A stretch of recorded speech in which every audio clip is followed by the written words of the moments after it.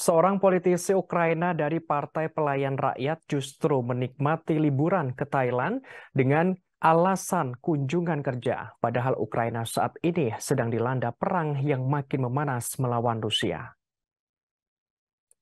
Politisi tersebut bernama Mykola Tichenko ia merupakan anggota fraksi Partai Pelayan Rakyat pimpinan Presiden Ukraina Volodymyr Zelensky. Mykola justru memposting video dirinya sedang berada di Thailand.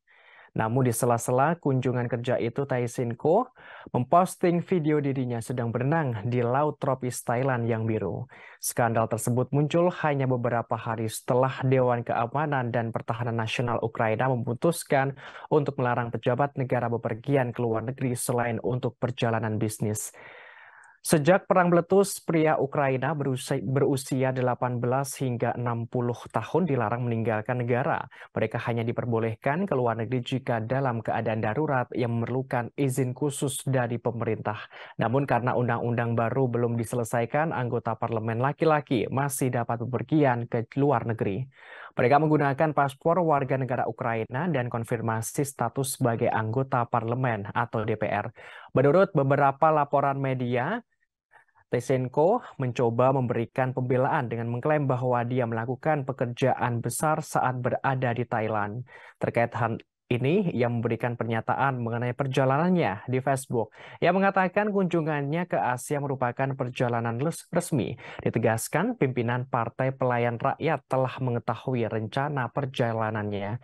Maikola juga menyatakan siap melapor setelah kembali ke Ukraina.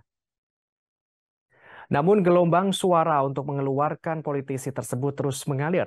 Juru bicara fraksi Partai Pelayan Rakyat Yulia Palichuk, anggota fraksi Parlemen Ukraina mendukung inisiatif untuk mengeluarkan Tyshenko dari partai. Sementara itu, Zelensky menegaskan bahwa pejabat Ukraina hanya diperbolehkan bepergian ke luar negeri untuk perjalanan bisnis. Zelensky juga menekankan ia terpaksa mengulang aturan baru mengenai bepergian ke luar negeri bagi mereka yang memiliki pendengaran yang buruk.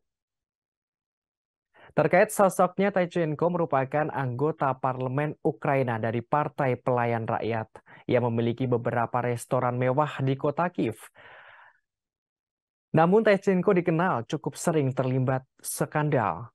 Sebagian besar skandal pria itu terkait dengan pandemi COVID-19 dan larangan karantina.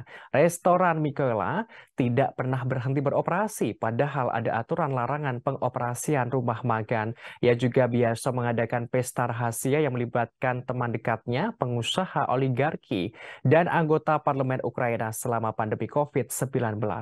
Sedangkan untuk warga biasa yang memiliki restoran jelas harus menutup bisnisnya. Meski begitu, Techenko tetap mempertahankan statusnya sebagai anggota parlemen Ukraina. Terima kasih sudah nonton.